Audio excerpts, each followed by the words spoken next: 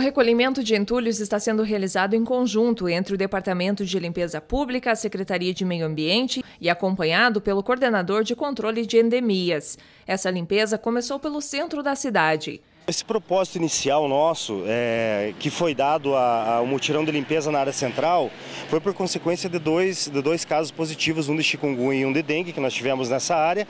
É, realizamos o bloqueio com os agentes de endemias dentro dessa área, pesquisamos, é, entrevistamos pessoas para ver se tinha algum sintoma parecido com o ocorrido do dos casos, né? E, e, ainda bem que não tivemos, mas mesmo assim estamos com um mutirão de limpeza nessas duas áreas, né? Onde determinamos uma área de, de 300 metros de, de, de cada situação para a gente estar tá realizando uh, o, uh, esse recolhimento de entulhos, né? Do centro, a equipe deve ir para os bairros, mas atenção, a princípio, é só onde nós estamos avisando, né? Então a gente está avisando com os agentes de endemias, a gente passa nas residências comunicando é, as pessoas, se caso não tem alguém em casa, a gente deixa um comunicado no correio que somente aquelas áreas serão recolhidos os entulhos. Então, que isso fique bem claro para nós não, não termos aí um problema maior em pessoas que tirem esses entulhos e posteriormente os caminhões não passem nas áreas que não foram avisadas.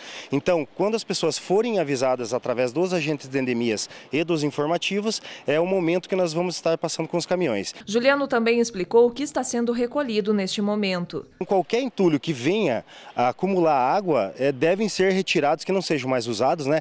Devem ser retirados das residências, colocados nas calçadas, né? Com aviso prévio dos agentes e após isso o caminhão recolhe. O que não, o que não conseguirem é, retirar para as calçadas, vedar, tampar, né? Então tudo que for caixa d'água, cisternas, que não sejam retirados das residências, tem que manter lacrado O boletim semanal da dengue registra 3.176 casos da doença, 333 a mais que a semana anterior. Esses casos estão distribuídos em 230 municípios do estado e mais de 6.300 casos estão em investigação.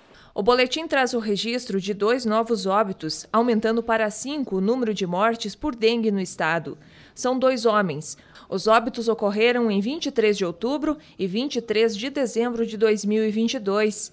Em relação à Zika vírus, o informe apresenta 35 casos notificados, sendo que sete estão em investigação. De acordo com o boletim semanal das arboviroses da Secretaria de Estado da Saúde, divulgado na terça-feira, o Paraná tem 10 casos confirmados de chikungunya, sendo seis importados, três autóctones e um segue em investigação quanto ao local provável de infecção.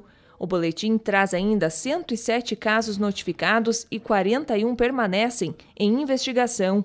Os casos autóctones foram registrados nos municípios de Foz do Iguaçu, São Miguel do Iguaçu e Pato Branco. Nós tivemos aí, através da, da vigilância epidemiológica, né, dois resgates né, de casos anteriores que vêm lá do começo do ano de dengue e esse caso agora de chikungunya que positivou autóctone né, aqui do nosso município e um caso que vem importado que já está fora de, de risco de transmissibilidade.